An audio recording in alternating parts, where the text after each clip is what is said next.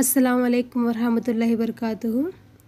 Before I begin, I would like to pay my sincere thanks to respected principal ma'am for providing me this opportunity to perform here. Now I am going to ask you three questions. Answer me in public chat. Number 1.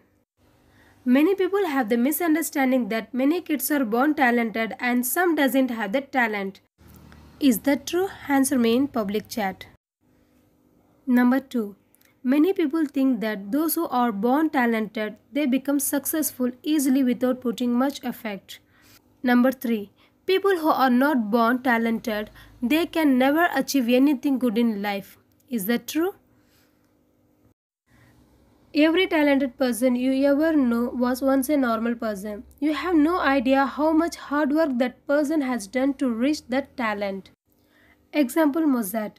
Mozart till now is considered their most talented music composer who has created world some great and extraordinary music in his life.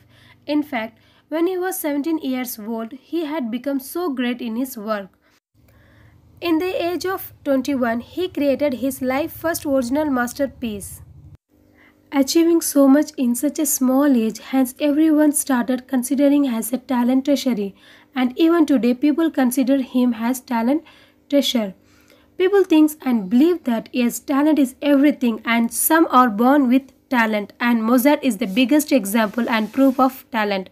But most of the people have no clue that Mozart able to achieve such unbelievable things in his life just in 21 age because he already had 18 years of practice. Yes, you heard it right. Mozart started practicing at the age of 3 he started practicing for thousands of hours. As a result, he became the world's best composer. But nobody saw his hard work. Everybody said that how a genius kid has achieved so much at just 21 age. Everybody linked his achievements with talent. Everyone said he was born talented. No one paid attention towards his hard work, practice and efforts. He has done so much hard work that his fingers were deformed. Not only pick any higher achiever story, whether it's Tiger Woods, Oprah, Sachin, Bill Gates, etc. etc.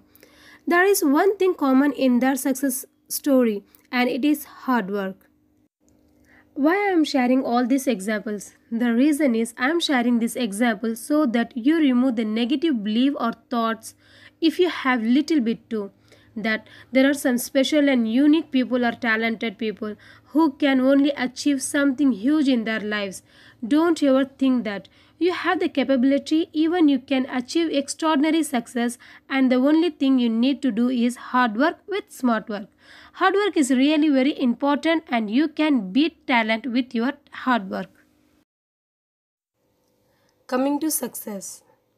Success doesn't just come and find you, you have to go out and get it. Socrates was one of the wisest human in the world. Once a man came to him and said, Please tell me the most important thing which are we needed for success. Listening to him, Socrates remained silent for some time, and then he took that man to the river. When both of them reached the river, then Socrates put the man's face inside the water. With full force, he kept that man's face inside the water. When that man started struggling to breathe, then Socrates pulled that man's face out from the water. Leaving from water, that man became very angry and told Socrates, What the hell you are doing? I came here to learn, not to die. For this Socrates replied, I wasn't taking your life. I was actually teaching you the thing which is really important for success. Socrates further said that when you were inside the water, air was the most important thing for you. That's why you put all your efforts to breathe. Similarly, when you think of getting success, as important as breathing and put all your efforts to get that success the way you were putting efforts now, then you will for sure get success. Winners have some special traits and some special qualities which helps them to win the game of life and if you want to become a winner and want to be a successful, then you must develop winner habits and qualities in you. I am going to share winner qualities. Quality number one attitude. Your attitude decides how you will handle any situation in future. People who have positive thinking and positive attitude has shown at all times that they can handle situation more properly and nicely and that positive attitude has helped them to move ahead in life easily. Hence always be a positive attitude person who always see glass as half full not as half empty. Quality number 2 opportunity grabber. Many times opportunity stays in front of us but instead of taking action and grabbing that opportunity we let it go. And this behavior is what makes human a loser. Quality number 3 success. Example There was a man who failed in his business at the age of 21. At the age of 22, he failed in elections. At the age of 24, he again started a new business and he again failed in that business. At the age of 26, his fiancée died. At the age of 27, he went through nervous breakdown. At the age of 34, he again failed in election. At the age of 45, 47, 49, again and again he failed. Till the age 50, he lost many real life battles. But still, he didn't give up. And at the end, he faced success at the age of 52.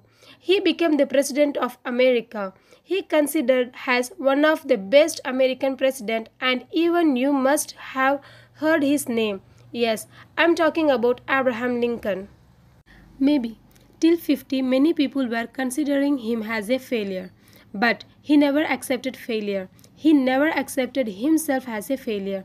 He always tried and that trying made him such a huge winner that still world admires him and remembers him.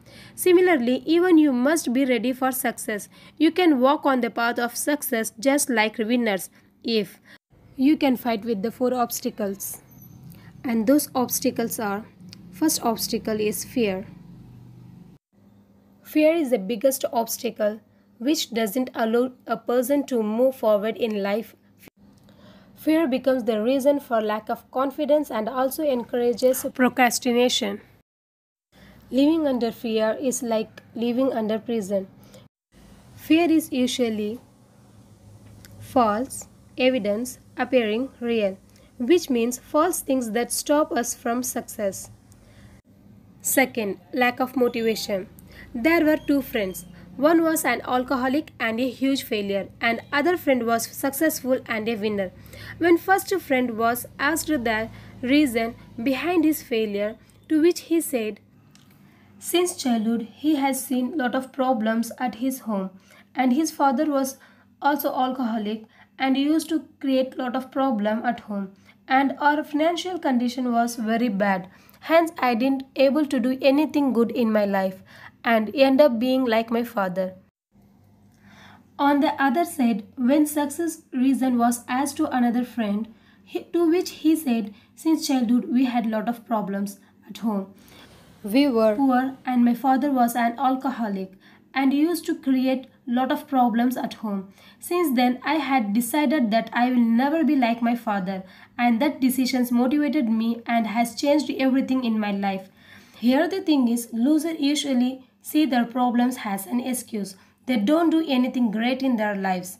Whereas winners makes their problems as a motivation source and that source allow them to move forward. Third is low self-esteem what we think about ourselves is really really very important because if you think about yourself that you can't do much uh, much in your life then yes it will be become true but if you think that you can do a lot of great things in your life then even this will be true you can or you can't both ways you are right hence always have a high self-esteem fourth is ego for some people, their pride is everything. Usually, pride never allows them to learn anything new. Pride never allows them to respect others and never allows them to move ahead in life. Usually, winners have healthy pride, which they get after achieving something huge in life. But still, winners stay down to earth with humility and always stay open towards learning from others. Step to success. If you see something you like and you want it for yourself, but you too far away from it, First, you must take a step up. Even if you're tired, just keep going on. A few steps later, when you reach the top, don't think you have done. You actually have just started.